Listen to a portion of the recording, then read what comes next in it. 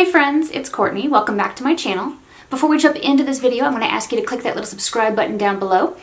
So today's video is going to be a tutorial with the Lime Crime Venus Immortalis palette. I bought this palette from Ulta with my Ulta points because I have a ton of points racked up at Ulta and I love them because they're actually turned into real money that I can use for real products as opposed to the useless crap at Sephora. So yeah, um, this is a cool tone palette. I bought it because I love cool tones and this is the first look I put together with it. I'm so in love with this palette, so I'm gonna go ahead and jump into the tutorial and you can just watch it. I've already applied my eyeshadow primer and set it. I'm using the shade Unveil. And I'm gonna start building it up at the outer part of my eye and I'm really kind of pressing this brush into the socket of my eye.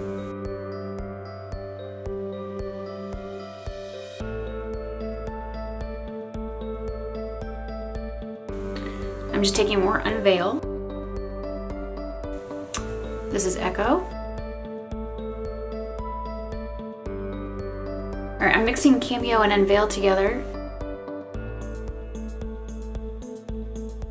Taking a little bit of Unseen, the black, and just popping it on my tiny brush for the um, into the outer part of the socket right here. I'm switching to a Sigma E25 just to do some blending and soften this. Going back with more Unseen.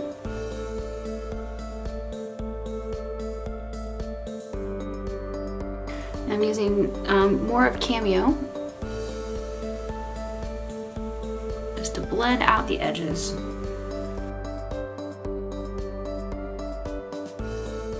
I'm going back with more Echo on a damp brush.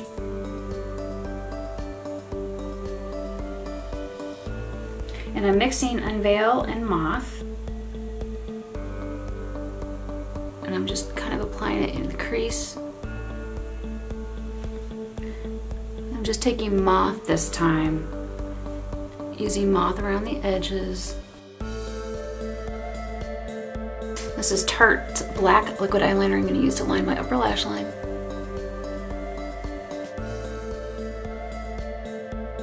Using the Tarte pencil on the lower waterline too. This is the Milani, the violet one. It's a lash primer. This is Milk Makeup's Kush Mascara, my favorite mascara.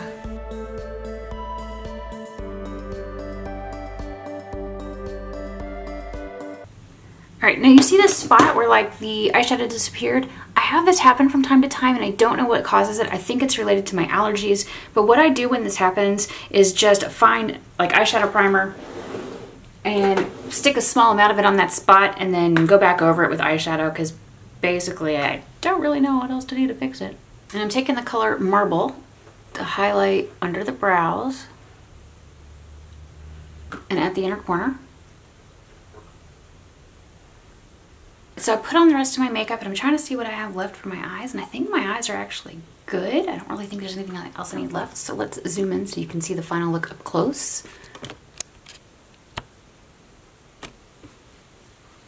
You'll have to excuse the brows. I had them tinted today, which means I can't touch them or put anything on them for 24 hours.